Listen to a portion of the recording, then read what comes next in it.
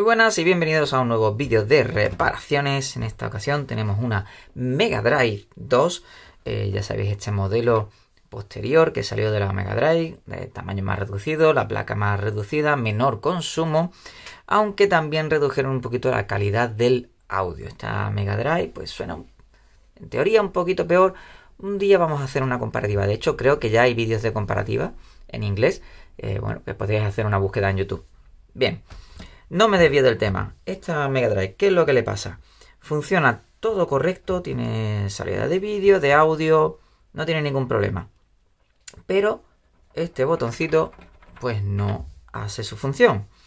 ¿Realmente es necesario? Bueno, pues es necesario siempre que el cliente pues quiera que su consola funcione perfectamente. Así que para abrir la Mega Drive, la verdad que es muy muy sencillito. Tenemos cuatro tornillos, estos dos de arriba y estos dos de aquí abajo. Los retiramos y con mucho cuidado levantamos la tapa. Recordad eh, porque tenemos por aquí... No tenemos ningún cable. En la Mega Drive 2 lo que teníamos era el difusor y el LED estaba aquí abajo. Eh, no es como la, ya sabéis, la Mega Drive 1, pues estaba conectado, el LED estaba directamente puesto en la carcasa. Bien, retiramos la carcasa para poder seguir trabajando. Eh, vamos a retirar el protector y sacaremos la placa y vamos a medir en principio la continuidad del, em, pues del pulsador, ¿vale? Y porque a priori no parece que, haya ningún problema físico, el pulsador de reset, pues no parece que esté roto ni partido, tiene su tamaño, tiene su tamaño correcto. Así que es probable que el pulsador, pues que eh, no esté haciendo su función. Vamos a comprobarlo.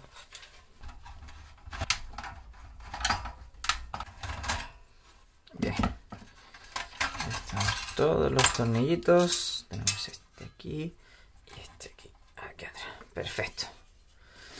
Muy bien, eh, ya hemos quitado la protección y ahora solo nos quedan estos dos que son los que fijan la placa a la, a la base de, de la consola.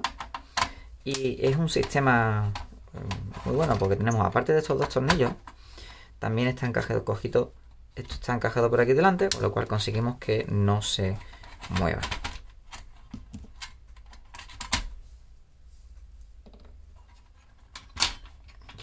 Ya podemos cerrar la consola. Perfecto.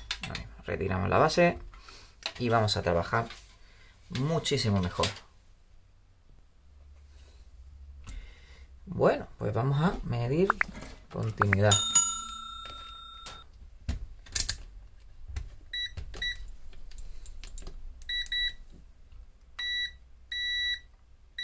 Vale.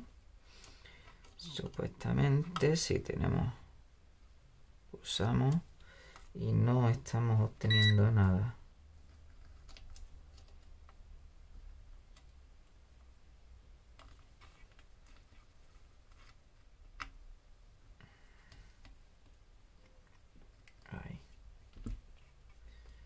Pues señoras y señores, este pulsador obviamente no está actuando. No está haciendo su función. Esto es la señal normal, o sea, estos dos pines hacen están en continuidad, pero desde aquí hasta aquí, pues no, no está haciendo su función.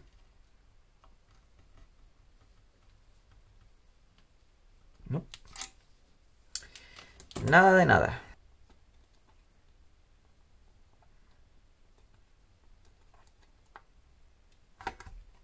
No. Está totalmente muerta. Así que voy a buscar a ver si en las tiendas eh, pues tienen repuesto. Y si no, pues eh, esta reparación pues no, no va a ser posible a menos que busquemos un pulsador de una Mega Drive que esté totalmente eh, no funcional, que esté rota y no tenga salvación. Fijaos cuánta pelusilla, cuánta porquerilla. Como digo, si no hay repuesto, pues eh, la función de reset de esta consola pues la va a perder. Tendremos que apagar y volver a encender. Eh, no es que sea gran cosa, o sea, no es una, gran falta el que no funcione.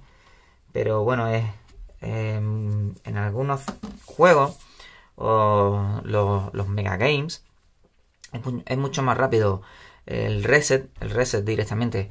Em, lo que hace es un corte rápido de, de, la corriente, ¿no? Y volvemos al menú del juego, mientras que si te apagamos y volvemos a encender, el sistema eh, vuelve a arrancar, vuelve a cargar la, ROM, el cartelito este que pone siempre de Sega. Eh, pues es, mucho más, más rápido un, un reset en caliente. Como digo, voy a buscar un repuesto y si es posible continuaremos con la reparación y si no, pues en, breve os vais a enterar. Bueno, gracias a la magia de la edición ya tenemos el repuesto. El, bueno, pues el botón es un poquito más pequeño, pero tiene las patas lo bastante, lo bastante largas como para que estirándolas un poquito, pues llegue justito a su sitio. Recuerdo que este pulsador es de 10 milímetros, no los hay, los hay de 6 y de 8, este es de 8 milímetros. Y bueno, pues nada, vamos allá. Vamos a sustituirlo. Es igual, es de silicona, había eh, pulsadores de que eran rígidos, pero esos no, nos servían. así que, venga, retiramos el pulsador. Cogemos un poquito de flux y preparamos la zona para trabajar fácil y rápido.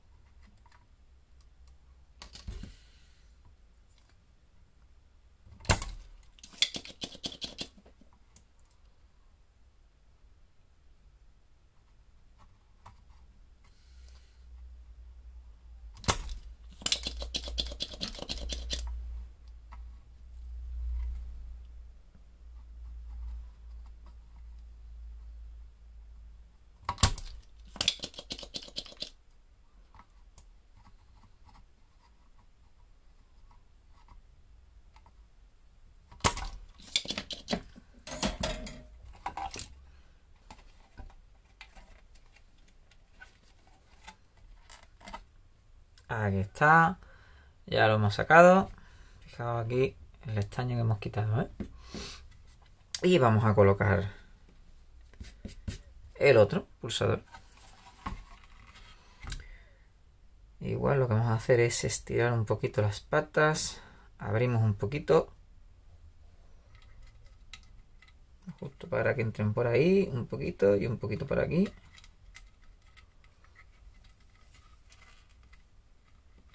Y fijaos lo bien que queda. Centradito. Vamos a intentar que quede lo más pegado posible. Ahí. Aquí.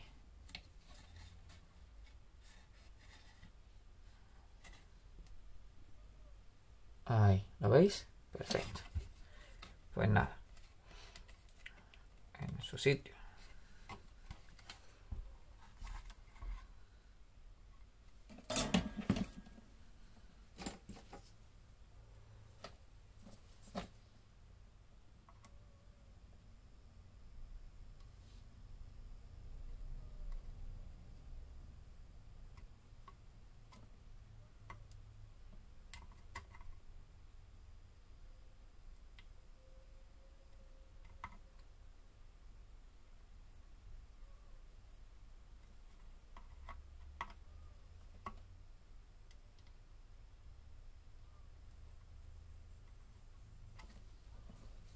Perfecto. Mejor que nuevas. Y bueno, pues... Vamos a probarlo. Vamos a probarlo. Bueno, pues aquí tenemos nuestra Mega Drive con el pulsador ya nuevo puesto. La encendemos. Ahí está, cartelito de Sega saldrá ahora. Sega. Ahí está, vamos. Cartucho multi, el Sega volumen bueno, el, M6. Y vamos a darle al botón de reset. ¿Vale? Efectivamente, se resetea. Y carga de nuevo. Pues... ¡Listo! La verdad es que es un botón de muy mala calidad. Eh, hay gente que no ha usado nunca este botón y se, la, ese pulsador y se la ha estropeado. Así que nada, pues ya sabéis, chicos, eh, reparación sencilla. Y pues nada, para cualquier cosita estoy abierto a que me mandéis vuestras consolas para hacer cambios, reparaciones, modificaciones. Nos vemos en el próximo videito. Adiós.